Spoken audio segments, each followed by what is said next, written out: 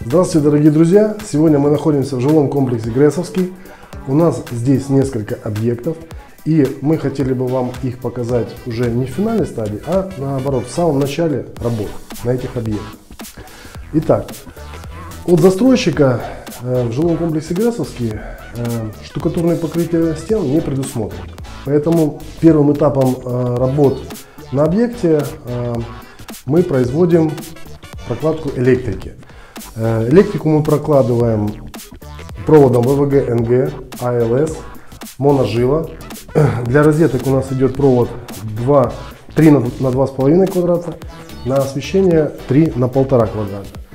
Провод прокладывается строго перпендикулярно к нашим потребителям, оставляется запас для электромонтажа. Э, все распаечные коробки находятся у нас на потолке для э, дальнейшего удобства эксплуатации.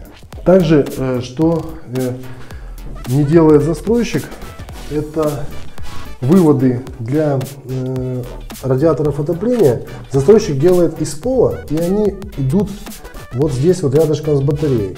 То есть нет такого эффекта, что радиатор парит над землей.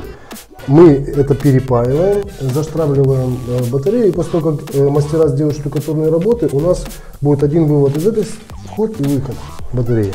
И будет э, не мешать прокладке плинтусу труба, и будет эффект такой парящий.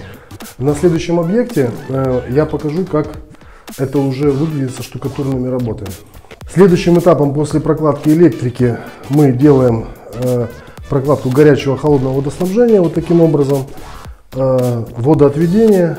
Вот в данном случае здесь мы видим э, подключение посудомоечной машины, холодная вода и водоотведение посудочной, посудомоечной машины. Пойдемте дальше. Вот так выглядит типовой щит автоматов для э, ремонта стандарт. Здесь дополнитель, дополнительной опцией э, установлен э, реле напряжения и э, щит для слаботочки. Здесь будет монтироваться ТВ-сплиттер, э, блок Wi-Fi и коммутация э, интернета. Вот так у нас оформлена дверь.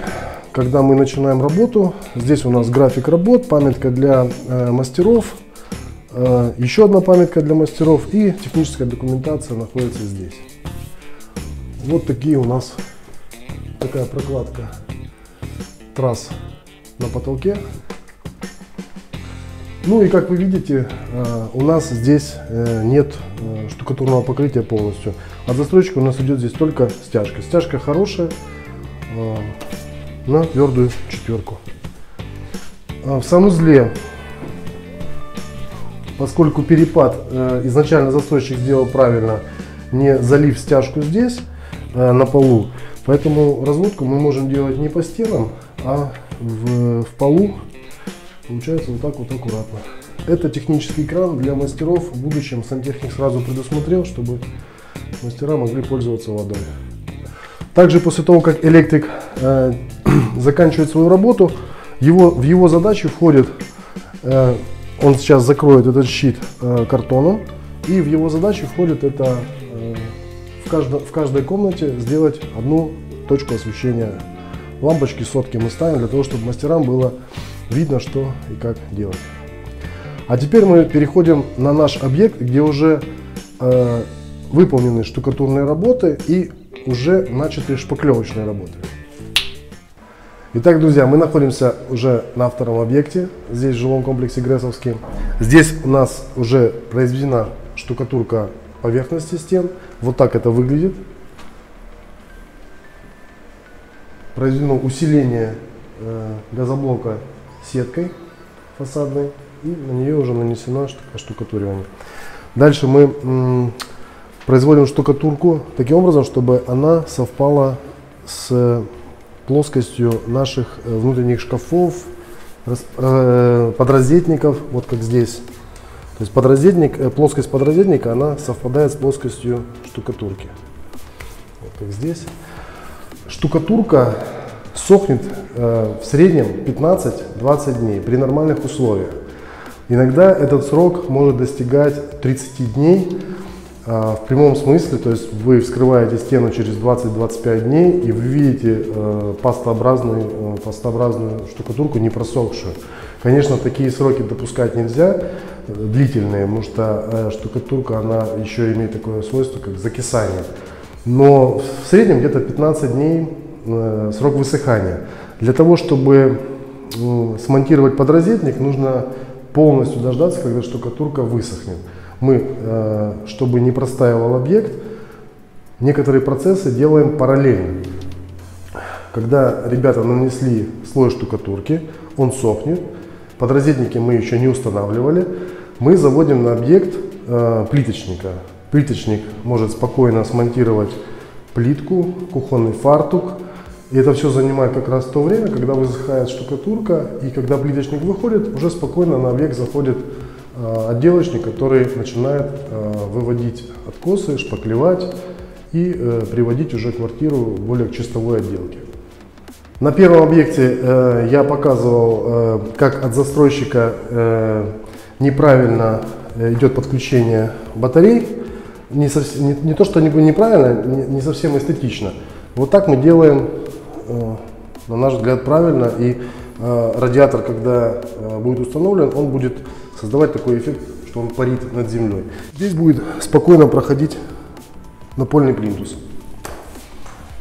Пока э, высыхал э, слой штукатурки, мы э, делали здесь э, плиточные работы.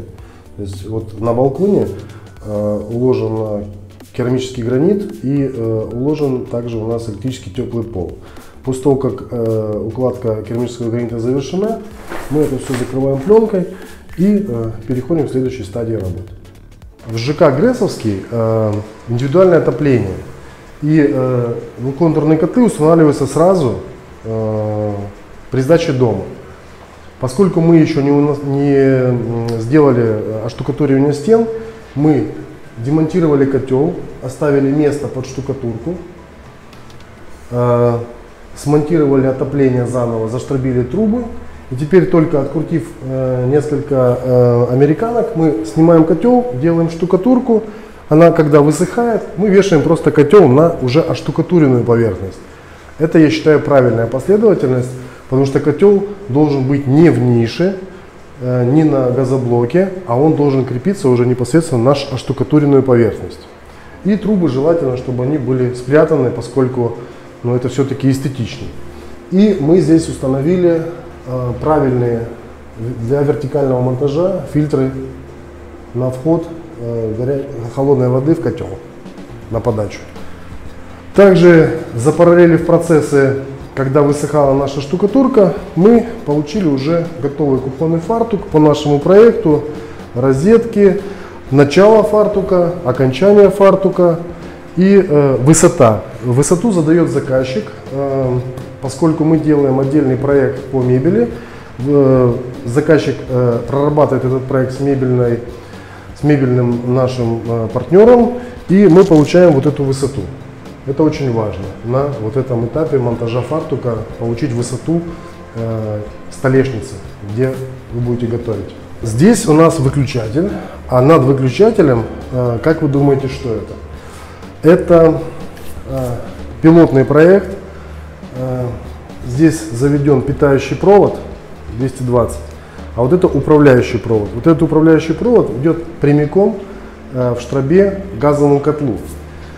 Здесь мы уже заказали систему, которая будет дистанционно через смартфон управлять газовым котлом. То есть вы можете через смартфон задать температуру, в общем, в принципе, выполнить все любые действия по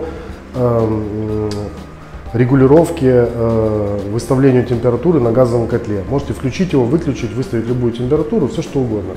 И также э, с помощью этого провода возле э, газового котла будет стоять отдельный тумблер, который будет нам, позволит нам переводить управление газового котла из аналогового положения заводского и в положение управления через смартфон. То есть два варианта. И такой, и такой будет.